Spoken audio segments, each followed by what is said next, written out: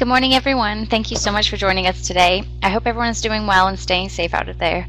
My name is Victoria, and I'm a Senior Business Development Coordinator at 2H Offshore. With many industry events and conferences canceled due to COVID 19, we put together this series of live webinars to keep our valued clients and colleagues up to date on the latest happenings in the world of riser and conductor engineering. I want to welcome you all to our webinar today entitled How to Clamp Unseated Subsea Wellheads for Life Extension. Before we get started, I'd like to cover a few important housekeeping items. Firstly, this webinar is being recorded and will be made available to you soon, so please look out for a link to that in your email. Secondly, if you have technical or content-related questions today, please feel free to ask them at any time.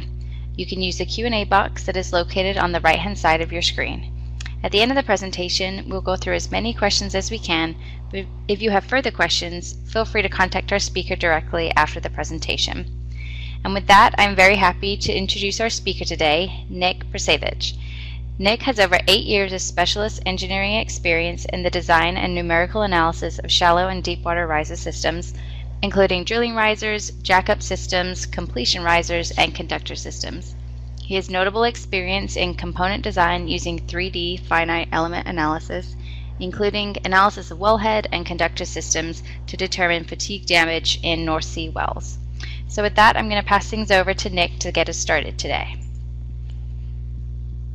Thanks, Victoria, for the introduction. Uh, it's good to be here today, and uh, hopefully you all find the information in this presentation useful. So, first off, I'm going to go through the agenda to give you an overview of the, the topic today. I'm going to start with a, a field overview, um, give you a bit of background to this case study that I'm going to look at, uh, and its kind of operational history. Uh, and then after that, I'll give you a kind of uh, rundown of the, the global riser analysis activities, which is a kind of bread and butter work that we did on this well um, a little while back, uh, covering historical fatigue. Um, and then uh, what what the client or Chevron in this case wants to know is can we come back to this well and do future uh, operations, um, and then some some of the other things in, in that regard. Uh, and then after that, it's on to the kind of specific problems that uh, were encountered on this well required some some more thought and more bespoke solutions to them. So, firstly, I'll uh, give you a rundown of what we mean by wellhead dislocation, um, uh, how that was discovered, and why it has occurred, and then what the remedial actions are to to get around this and ensure that uh, the, the well can be operated on in future and the life of it extended. So I'll cover the, the clamp overview, what its purpose is, uh, how it was designed, uh, the finite element analysis, so how we verified that the clamp uh, does its job uh, and also is structurally capable of taking the loads that it will see because it's connected to a wellhead uh, with the riser connected and, and will have loads passed through it. And then at the end, I'll go through the manufacture process and some of the testing that we've done to date to prove that the, the clamp is, is ready to be installed. So first off, a quick overview of the field. Um, discovered in the late 1970s in the North Sea. Um, first production didn't occur for about 20 years. Um, the technology wasn't there initially, so um, once that was uh, more developed. Uh, the initial drilling operations were performed, uh, and then they produced from the, the well. Um, and then in the last kind of 10, 15 years, um, there's been a, a, a, project to further uh, recover oil from the well uh, with further developments in technology. Uh, again, it's become commercially viable to do so, and it's you know, a, a question of, of, life extension and making sure that the the well is, is not going to be susceptible to any issues because of its previous operations. So um, these wells are non-rigid lockdown wellheads. Um, some uh, it's quite common to see these wellheads in the North Sea. Um, they're not put down anymore, at least not that I know of. Um, but if you look at a lot of older well designs, the, the low and high pressure housings are non-rigid lock, which means there is some movement between the two of them. So the, the high pressure housing sits on the low pressure uh, housing via a load shoulder, but uh, when there's a riser connected, they will move relative to each other. And this is fine. It's not as robust a design as, as more modern ones, but um, the key thing is is making sure that uh, you determine if, if, slightly higher loading is, is an issue or not and, mitigate for that. So the key point here is that you know, aside from the, the, the design being a bit older, there's you know the the as uh, as is uh, kind of configuration isn't uh, as it was designed. It's it's not kind of it's not uh, sitting as it's intended. Um, so remedial action is required here in the form of this clamp, so that we can return the well to its initial uh, condition and then allow for it to be operated on again. And we see this a lot on older wells, be it platform wells, subsea wells, um, whether it's replacing an old component, re-verifying it, or using something for something that wasn't intended. Um, there's it's quite a common uh, occurrence when looking at life extension. So briefly, I'll go over the, the redrill operations that are, are now being planned. So uh, there's going to be redrills performed in a number of the wells. And the kind of bread and butter analysis that I, I mentioned that we did on the global riser system was done for two wells in this field. Um, and the, the same vessel is being used on both of them. Uh, the riser stack up shown on the right here. Um, these are drilled from a semi-submersible, and the riser stack up is pretty typical of what we see in the, the North Sea in terms of water depth, uh, riser configuration, wellhead. It's all, all quite typical in that regard. Um, looking into the historical operations performed on it, there are a couple of well specific things. Um, you find all um, conductors and risers have their own quirks um, and different levels of uh, data available for them. So, some of the things to be considered here are the metocean conditions um, they're both in the same field, but they're operated on different times. So summer and winter, goes without saying, have quite different um, sea state conditions. Um, different vessels have been used, uh, and some of the wells have been connected on for longer just because of the operations that were required on them. So the future operations of the redrill uh, is going to be done with a fifth generation semi sub rig. Um, so we can calculate how much fatigue damage from the, the cyclic bending loads from the vessel has been accumulated in the swellhead over the historical operations, and then you have a baseline and, and it tells you how much residual fatigue life you have left to go back and do any, any future operations. So I'll quickly go over the work scope. Um, it's not really the interesting bit, but um, as I mentioned already, fatigue analysis, in this case driven by wave motions, is the, the main driver. Um, we also did an operating analysis where we define operating windows and tension settings and things like that. Um, but all of that stuff is, is fairly standard. Um, the, the key uh, point is that it's all based on the as designed wellhead configuration, so the wellhead operating as it was intended to operate some things particular to these wells. Um, I mentioned already that the uh, the the wells are quite old in design, and um, that affects the type of wellhead. So it's a non-rigid lock wellhead system. Uh, the welds between the, the housings and the extension joints below are also F-class welds. Um, nowadays, you would see a much higher grade of weld. Uh, D class is probably quite conservative. Uh, you get C or C1 class is quite common and you can spec that when designing new wells. But when it comes to old ones, you're um, it is what it is. You can't go back in time and, and, change how these were designed. So it's a question of uh, making sure that you uh, have a sound analysis approach uh, to when looking at these, so you can remove any conservatisms that you don't need to be there, and then possibly looking at mitigations when you go back onto these wells.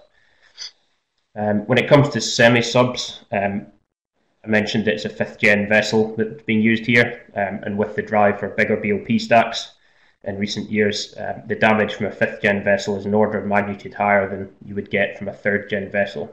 Um, so the the loads are higher, and then the resulting fatigue damage is significantly higher. So well, these old uh, wells maybe don't have such good well details, and that, that could well be okay in the past, but when you come with a, a newer vessel and connect to it, it may give you some some issues. Um, and the context for these wells, um, to kind of wrap up the summary of this, is that uh, kind of the, the, baseline fatigue damage means that um, either the fatigue life would, is close to being exceeded or will be I know will be exceeded during the future operations, or you're kind of already at that point. So it's a question of uh, minimising the risk when you reconnect and, and, putting mitigations in place so that you can keep the fatigue damage to acceptable levels. And it's always a kind of risk based assessment, taking the best operational approach to do that. So just a, a, kind of tracking of the fatigue damage over time to illustrate one of the key mitigations here, uh, and that's the use of a BOP tether system. Um, these are quite common in the North Sea and, and some other regions as well, and they're a very good way of um, reducing fatigue damage. Uh, so you can see the fatigue damage in some of the, the key components tracking over time. The, the red line there is the low pressure housing weld, which was the the, the highest uh, fatigue uh, component in this case. And you can see that the the last operation, the damage kind of shoots up. So that's with the, the new vessel on the fifth gen. And this is the without tether scenario. So it, it, it's a pretty drastic increase in damage. And we did it both for summer and winter months. There's quite a difference, but you're still in trouble either way. So the mitigation here is, is using a BOP tether system. I won't talk any more about that here because it's not the, the focus of this presentation, but um, you can see it's a pretty drastic difference, and you end up with a pretty uh, uh, different picture to what you had before. Particularly if they come do this in summer months with tethers, it's you know it's a it's a big big difference. As I mentioned, this is all based on the wellhead being in the condition it was when it was put down 40, 50 years ago. So um, a lot of things can change that time, and in this case, the the wellhead dislocation is the issue. So um, I don't have any fancy pictures to, to show it, uh, but it's pretty uh, straightforward in, in terms of what's happened. So the image to the right here shows a subsea wellhead. You've got the high pressure housing welded to the surface casing, and that sits on a load shoulder inside the low pressure housing, which is welded to the conductor. Um, typically, it looks like the image shown here, as the on the right, the, the blue arrow denotes the, the high pressure housing is moved up by two inches here. So that's what we mean by dislocation. Um, and it's a result of a lock ring failure uh, combined with thermal upthrust. So it's not known exactly what happened first. Um, you can make a pretty well educated guess at it, but um, it's likely that the it could be that the lock ring failed because of some default with uh, some fault with it, and then you know the thermal load will just push the housing up, or it could be that the, the thermal upthrust was was higher than anticipated, and that caused the failure.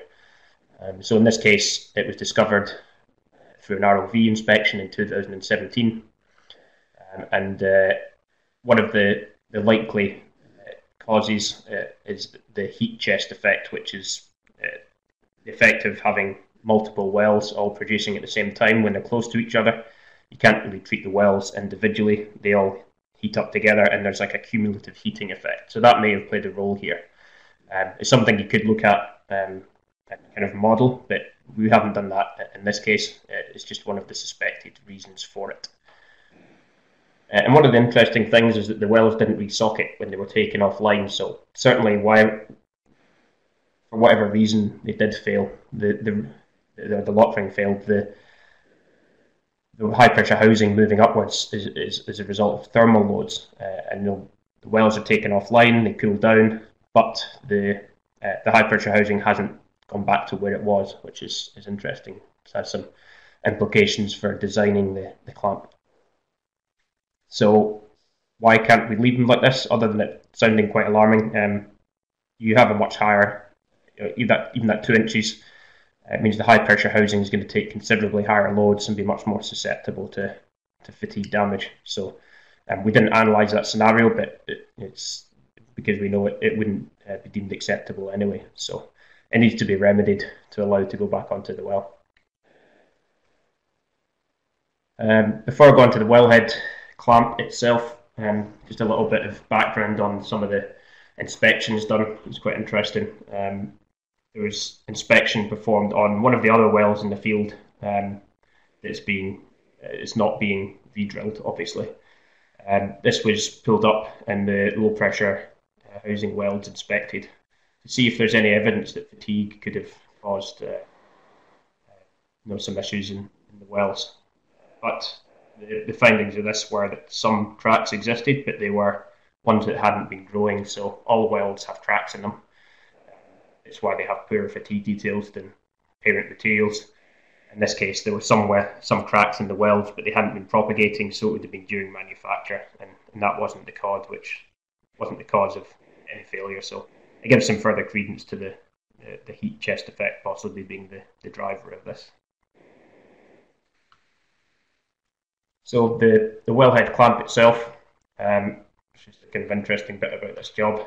Um, Chevron came to us with a design for a, a clamp to, to re-socket the, the wellhead.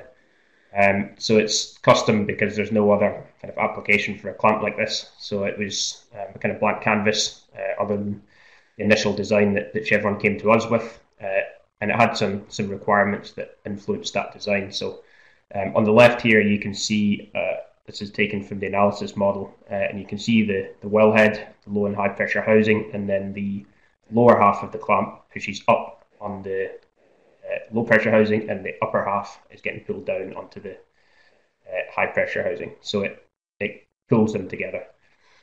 Um, the downwards force is was calculated and agreed upon uh, as one of the, the key input parameters. So in this case, 600 kips of force was required to reseat uh, and, and keep the uh, keep the uh, high pressure housing reseated. Um, and you'll see from the, the pictures that it's kind of segmental. It's in layers. This clamp. So there's an upper and lower section. see, and then in each of the sections there's three layers, so upper, mid, and lower, and each piece is like an 180 degree um, piece. So uh, this is all driven by how the clamp is installed. Um, there were some preliminary designs which I'll show in a minute, uh, which uh, would have worked in terms of the clamp's function, but this needs to be installed by divers uh, with a subsea tree in place. So, because you want to have it on as soon as you're connecting anything else and connecting a riser back to surface. So, it's important to make a clamp that works, but it's also important to make one that minimizes operational risk when you install it. And this is the same for any application. If, you, if you're designing some new equipment to be installed, it's, it's one of the drivers. So one of the key things to, to make it diver installable is to keep the weight down. Um, and that's why it's segmental and it's got these layers to it. Um, and the reason that you'll see from the, the schematic, if you look at the one in the middle, there's like the middle uh, layer is kind of rotated 90 degrees to the upper and lower ones. That's just uh, part of the design so that you don't have a, a loss of stiffness where you have like the 180 degree pieces fitting together. So it kind of introduces some some complexities that you need to account for and a lot more work, but it makes it a much more uh, practical solution. Uh, some images of the initial design, just to illustrate some of the initial concepts that, that were brought.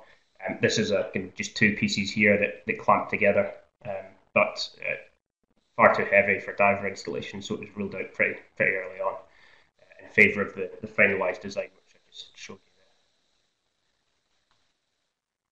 Once we had this kind of layered design, um, it was, started analysing it to see if it was strong enough to do the job or strong enough to withstand the loads it would see when it's in place, and also that it would uh, provide the, the preload into the wellhead, uh, the clamping force that we wanted. Um, so we analysed it first with the uh, the concept that was uh, given to us by Chevron, um, and it was deemed to be too heavy still. So we did some optimization, uh, looking at the initial results and then refining things, uh, taking out material where we can based on where the stresses are, and you know, if they're, if they're low in an area, basically means you can you can remove material in some way. Uh, so we got an overall 30% reduction in weight from that initial uh, concept the, the thinking about installation, it's not the assembly weight that's really important, it's the weight of each part of it. So uh, in the original clamp geometry shown on the left, particularly in the upper uh, part of the clamp, you can see that the, the grey body is a lot um, chunkier than the other parts. Uh, and it doesn't need to be.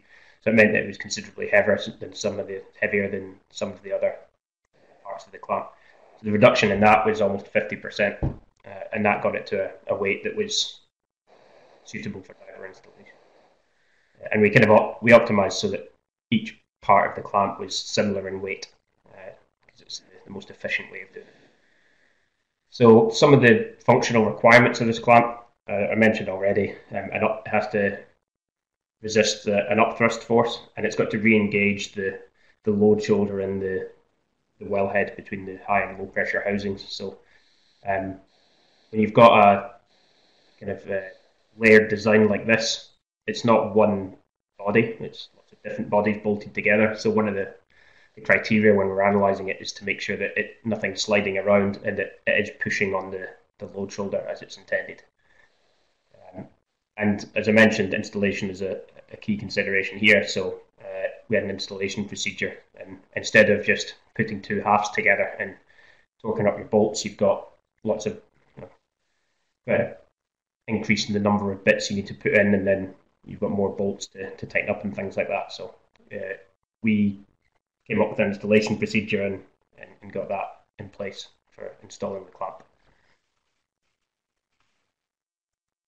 So the, the, structural analysis that we did in this to, to make sure that it's robust, uh, I've got some images from the analysis here, uh, and I'll just cover some of the key uh, design considerations. So uh, code checks, in this case, were performed to ISO and API codes, certifying uh, new equipment like this, or if you are going back to re- uh, revalidate some old equipment, or whatever it is, uh, is always dependent on uh, who is looking to use the equipment and where it's being used as well. So um, DNV and, and British standards and other codes can be used as well. So we, we typically work to whichever is appropriate. Uh, and some of the common ones are outlined here. Um, I mentioned that it's, it's not all one part uh, or one body. Each of these layers is bolted together with a pretty high preload, but um, similarly to how a non-rigid lock wellhead, your, your, load shoulder is oh, the, the main difference between the, the non-rigid lock and the rigid lock is that the load shoulder uh, isn't preloaded, so it's fixed in place, and the, the high pressure housing may slide a little along the, the low pressure housing where, where it's hung off. And the same is true of the clamp here. Um, if it isn't bolted up enough, you would get a kind of non-linear response where things start sliding. Uh, and here, there's not only the, the clamping force in the axial direction, which helps, but you've got the the bending loads coming from the, the riser that's connected. So they're trying to move it side to side. You get tension on one side, compression in the other. So you need to make sure that things aren't moving around. And if they are moving around, it's not necessarily a problem. You just need to make sure that that's captured and that you've assessed that it still functions and it's not overstressed. So to model that, um, frictional contact is modelled. So it, it captures if there is any sliding, we'll capture it in our in our assessment. And that's something that's very hard to quantify in uh, hand calculations. So when it's you have things sliding together, usually it's a kind of finite element solution. Um, we did elastic and plastic analysis. Um, key thing here is, is being uh, not being over conservative with the design. Uh, so some plasticity is okay. You just need to know where it occurs and make sure that, that it's not a problem. Um, and the, the driving uh, criteria for the strength of the clamp in this case was that it's as strong or stronger than the wellhead. Uh, no point making it twice as strong as a wellhead because you shouldn't be connected to your wellhead if you're seeing loads that high, but um, we don't want to introduce a weak point into the system here. Uh, and another thing was that it was all forged uh, pieces in this case. Uh, strength-wise, uh, having it rolled out from plates and welded would be fine, um, but then you have the possibility of introducing uh, new welds which may have their own fatigue issues. So you don't want to fix one problem and then give yourself another. So in this case,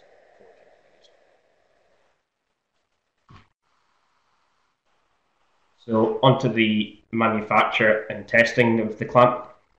Um, the yield strength, so I mentioned it was at four pieces, and we had control over the yield strength, uh, you know, how, strong the steel was used for each of these components. Um, and it's different, uh, I won't go into the details of them, but it's, it's different for certain different components. So the, the clamp body itself actually wasn't the, the most highly stressed part of the assembly. Um, the bolts, uh, because they're seeing the preload kind of long and slender, see quite high loads. And then the sleeves for the bolts, which I'll point out in a, couple of slides, they uh, also see quite high loads. Uh, and I'll give a background on why the sleeves are there bolt. Um, the coating, uh, we spoke with various uh, coating suppliers. Um, I'm sure many of you will be familiar with the type of coatings used subsea and what, what requirements you need to consider. Um, one of the important things from an analytical perspective here was the friction coefficient, because some are more slidey than others, and uh, that's fine. But you need to make sure you have your coefficient of friction in your analytical model matching what uh, is specified by the, the coating uh, supplier, uh, and that's something you can verify through uh, physical tests that we did. And we saw quite a good match in this case, or, or quite a good match. I mean, the, a good correlation between what the coating supplier said and what we saw, which is gives us confidence that they have uh, good data and supply to us. Um, the bolt torques uh, are also reliant on that, so depending on how you coat them, depends how much torque you put into them. And one of the testing thing uh, outcomes was we were torquing them up to a certain value, and we knew what uh, force in the bolts in terms of the compressive force pulling the clamp together we wanted so we wanted to measure that and make sure that for a given torque, we were actually clamping with the force that we wanted. Um, anytime you're in, in, this design, you have 16 bolts, you need to consider the order that you torque them up in and what increments you do it and things like that so that you don't put on a clamp with, you know, 10% variation in uh, force applied through all the different bolts and stuff like that. Um, so some practical considerations there. Um, machining tolerances, um, I'll skip kind of back to one of the slides here to maybe illustrate this point. Um, so if you the image on the left shows a clamp on the wellhead, um, the key job of the clamp is to provide the, the preload force, um, and it's got sections that have kind of uh, you know, it's like L-shaped. Um, so when you're defining the tolerances, the, the wellhead itself will have some tolerances, um, so you need to account for that, and then uh, if you have like two L-shaped pieces that you want to slot together, um, with vertical and horizontal faces, you know, 90 degrees apart. Um, you're never going to get a very tight fit on both the horizontal and vertical faces. They're always going to be, uh, you could do theoretically, but it's most likely that you know you could end up on the wrong side of your tolerances in every aspect. And um, horizontally it's flush, but vertically it's a little bit off or whatever. And it's likely when all clamped together um, and torqued up, this would you know squeeze itself into place. But we prioritized the horizontal faces because we need to pull the, the axial force through those and engage the load shoulder and the wellhead. And we did do some some sensitivities where what happens if the vertical faces aren't quite touching in places, uh, and just made sure that you know, it's unlikely, but covered all bases there and made sure that it would still still work. And that was another um, thing that we were looking for in testing. Do we have a good fit on the the wellhead? Um, so yeah, the machining tolerances were part of that procedure. So we specified those uh, kind of in, in conjunction with Chevron, uh, who managed the, the procurement. So they got this uh, manufactured and, and, provided us with feedback on what is realistic in terms of tolerances. Uh, and the same goes for the yield strengths. Um, and, and, we came to agreement on, on what works there. Uh, and onto some uh, images and information on the, the manufacturing testing that's been done. So, as I said, um, Chevron managed the, the manufacture of the clamp, uh, and we went along to, to witness the testing. Uh, and this is in Aberdeenshire, uh, near where we're based. Um, and we, we torqued up the, the bolts in the clamp to the recommended values to give the required clamping force, and, and took readings of the, the actual force in the bolts, as, as I mentioned picture of the testing facility here, just to show you what it looks like. Uh, rare sunny day in the left in Aberdeen. Uh, and next slide is uh, just a, an exploded view of all the, the parts of the clamp to, to illustrate the, the full assembly. So I mentioned earlier, just to it's a, it's a, good slide here to, to show what I was talking about. There's sleeves for the, the bolts. So you can see here the, the bolts with their blue coating. A nut on the top, and they are bolted through these also blue sleeves. You can see the, the sitting in the top and the one at the bottom that's kind of fallen out where there's no bolt. And um, so these sleeves uh, are there uh, just to relieve the stresses in the bolts. So the different layers of the clamp are all kind of we've got some they're bolted together. We're going to try and want to move uh, and, and induce shear stresses into the bolts. Um, but the bolts are, are tensioned torqued up to quite high axial load values. So we want to, instead of really struggling with finding very high yield strength bolts. Um, the idea here is that you install the sleeve, which is thicker. It takes those shear stresses and, and relieves them from the bolts, so the you can't see it. Uh, the ones that are in because they have a nut on the top, but the the ID of those sleeves is actually a little bigger than the OD of the bolts. So they take axial forces, but not much in the way of the the cyclic bending loads act laterally, other than the the flex from top to bottom the clamp, which which isn't a whole lot because it's clamped onto a wellhead. They, they don't really see any any shear or bending loads. So go crazy with the um, the wellhead here, as you can see, if, you, if you're looking at the um, the wellhead, which is the slightly shinier piece in the middle of the clamp, um, it's not got any kind of profile on it. This was just a, a manufactured um, representative wellhead to, to fit the, the clamp onto. Um, other things to point out here, I talked about installation uh, being a kind of key thing. You see these little yellow um, kind of brackets on the side there. These are just installation aids. Um, if you're trying to think in your head how you put this on a wellhead, you have to put it on without um, bits falling to the seabed or falling down below. So you, the the upper part of the clamp will just sit on if you because it's sitting over something. The lower portion um, needs to be held in place at times until you get the bolts in place. So that's what those are there for. Once you've got the top half in, you can support the bottom half and get all the bolts in and, and get everything torqued up. And just a, a, second picture here, again showing the clamp from a slightly different angle. You can see a little bit better the load cell on the on the bolt there, and you can see the large torque wrench that just has a kind of top cap to or socket to, to tighten up the, the nuts there. There was some discussion around uh, using some bespoke tooling to get the, the tension into the bolts, but after the testing, it was deemed that it's it's pretty straightforward as is, so there's no need for anything. So, what did we learn from the testing? Um, well, we, we successfully torqued it to the, the, the preload value we wanted. Um, we'd got some useful information in terms of the order in which we torqued the bolts up um, and, and increments to use so that we were measuring the same preload in all of the bolts, close enough.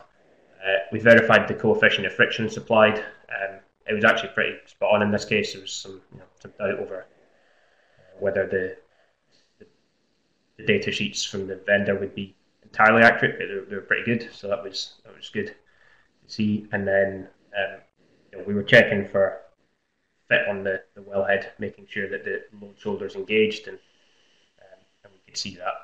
And we saw some uh, back. You probably can't really see it in this photo, but where the, the 280 degree sections at the top are coming together, it kind of wants to pry itself apart because you're pulling on both of those bolts and you get a slight um, kind of opening there. And, and we saw a good correlation between what we'd uh, analysed in our model and what we saw there. So that was a good verification that the, the stiffness and we're seeing for the loads applied is, is pretty spot on. And yeah, so we, we knew that under at least the, the preload, obviously it isn't subsea with um, a riser connected, but we were seeing consistent behaviour what we expected for the uh, kind of dry test case here. So in summary, um, some of the useful, interesting parts of this. Um, D damage is a common uh, issue or a consideration for, for older wells in the North Sea. Um, and in this case, um, not just you know as it was designed, but also because there's some some issues in terms of well degradation and uh, in this case the, the dislocation. So um, when it comes to life extension, be it just through corrosion or um, older components or things moving around uh, or doing bizarre things you don't expect them to do, we get a lot of um, inquiries to can we either recertify equipment. Um, so uh, in some cases, it, there may be a flange or a connector that's you know very old, and the, the capacity chart you get is a bit suspicious or you know, very poor, um, because it was either done using hand calculations or rudimentary FEA uh, many years ago. So often it's just a case of uh, doing some more advanced up to date analysis on it and saying actually the capacity of this is well in excess of what you thought.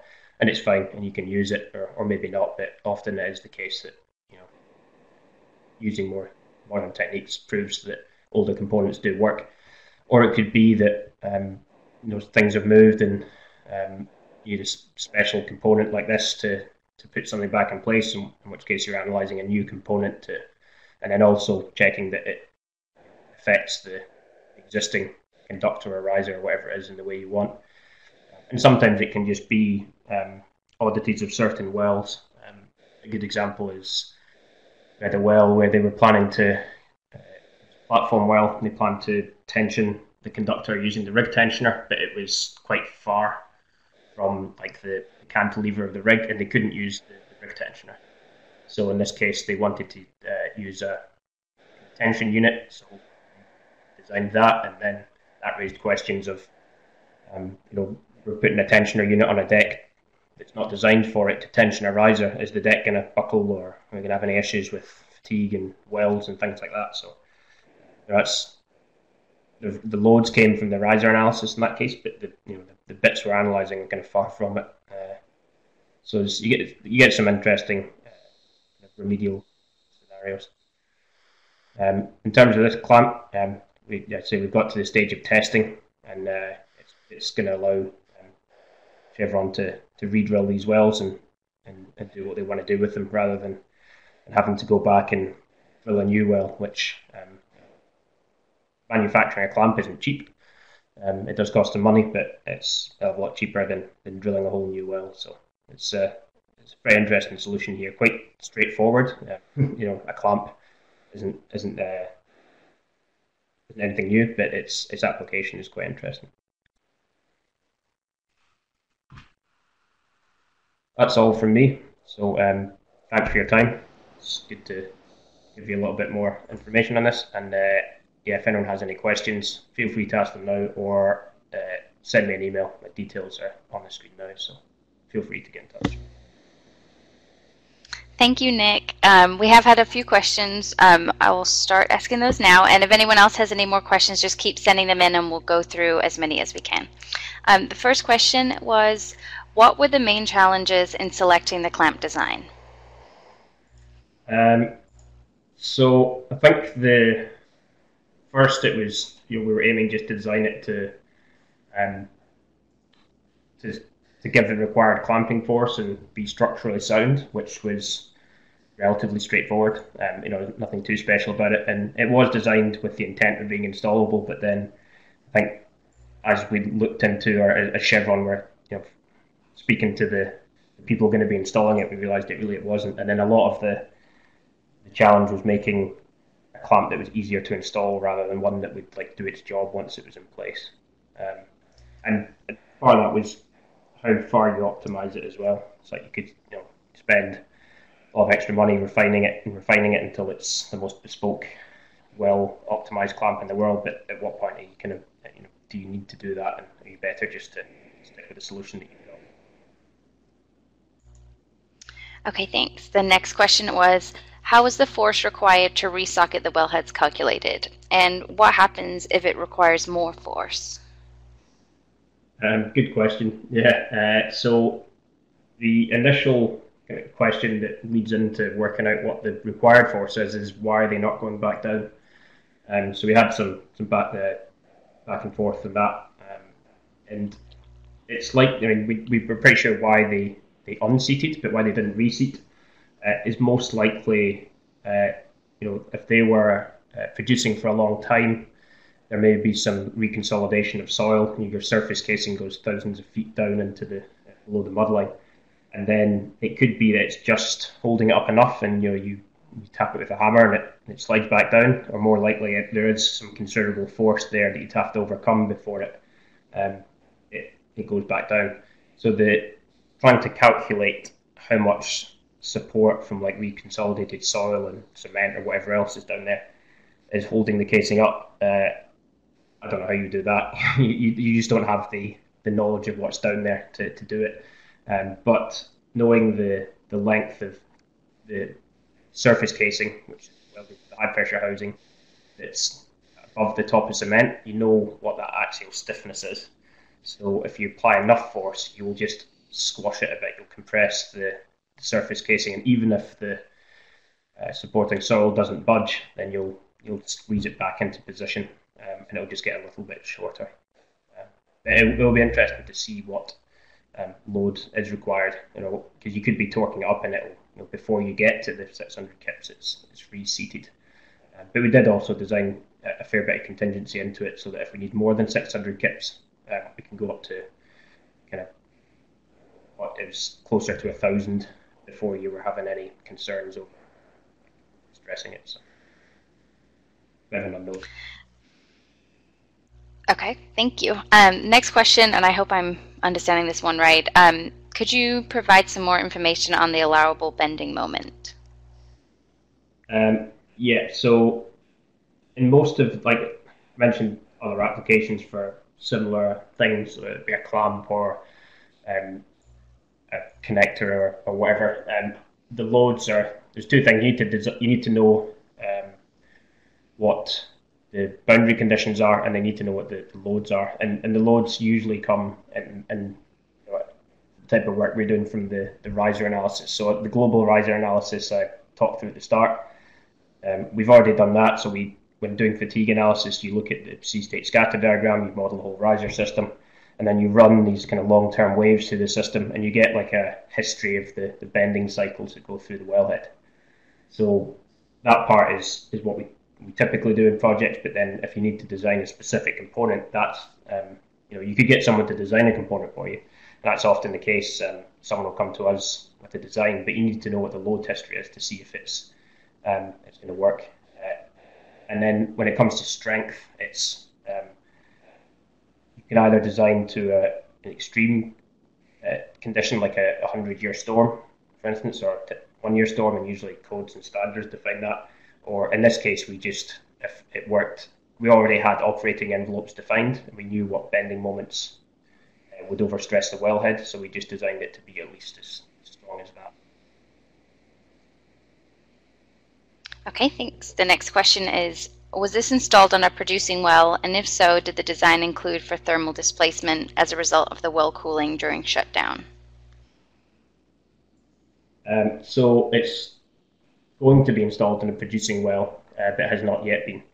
Um, so at the moment, the wells are offline, but still unsocketed, as I mentioned. Um, and then when the tree is in place, we'll install the clamp. And then when you torque it up, it will, if, if it does its job, it will uh, it will reseat the wellhead. So in the in the cold condition, still right. So then once you take once you drill through through it again, it's not going to heat up as much as when it's producing, but it'll still try and lift upwards. So we need to uh, make sure that it doesn't, uh, you know, we don't. You know, we've we've designed it so that it it won't um, you know, lift off again with the clamp in place, and and when it cools down, um, you know, anytime you take it off, it wants to cool, but uh, it's not so much of an issue because um, if it cools down, you like when it heats up you're going to put more tension to the clamp and try and pull it apart. But when it's cooling down, it's just the, the wellhead is going to shrink a bit, and the clamp's going to kind of not do much, if you will. It's going to see less stresses, so it's not really uh, a concern for it, but, but it will be an effect that, that you need to. Okay, the next question is Do we know why the wells didn't resocket when they stopped producing? Um, yeah, so hopefully I've covered that one already with the first response, but um, we have a good idea why. And we did discuss it quite a bit when uh, at, at, first, um, and the you know because if if they just had if you caught them just as they unsocketed and you just cooled them down, they should just slip back into place. But um, given the time that they've been unsocketed, uh, it's likely that soil is reconsolidated and, and things are just stopping. You know, it's supporting that high pressure housing. So uh, these wells have been producing quite a long time. Okay, perfect. I think we've got room, room, sorry, time for one more. Um, the last one is, is there any use of the clamp in other applications? Um, this clamp, um, it's no. uh, for this clamp, it's um, designed kind of specifically to fit around, uh, you know, this is an H4 wellhead system. So it's, it's specific to this application, but um, this kind of um, analysis and, and design of you know, bespoke clamps or connectors or seals and things is is quite common. Um, we see similar with um, companies like Claxton who uh, often design and then manufacture like overshot connectors to, to reconnect to uh, conductors that have just been cut and temporarily abandoned with no wellhead. Um, really quick have a pause grip connector. It's kind of more standard product, but um, there's quite a few different um, similar type connections that maybe need to be tailored to a specific application. And um, the kind of principles, you know, getting the global loads right and then designing the, the component to, withstand those and do its job is, is all quite similar to, to this application, albeit this one has a, a clamp very specific to it. Okay, great. Well, thank you, Nick, so much for all the information and for answering those questions. Um, that's all the time we have for today. But um, like I said earlier, if we didn't get your question or if you think of some more questions when you uh, watch the recording, you can contact Nick directly using the details provided here. And thank you all to our audience for your time and your participation. We hope you found this useful and you'll join us for more webinars in this series that are happening every two weeks during our time at home. Um, you can check out the 2H website for more details and to sign up and follow us on LinkedIn. You will also promote them there. And you can look out for the recording of the webinar in your email in the next 24 hours. So we hope you all enjoy the rest of your day. Thank you. Thank you.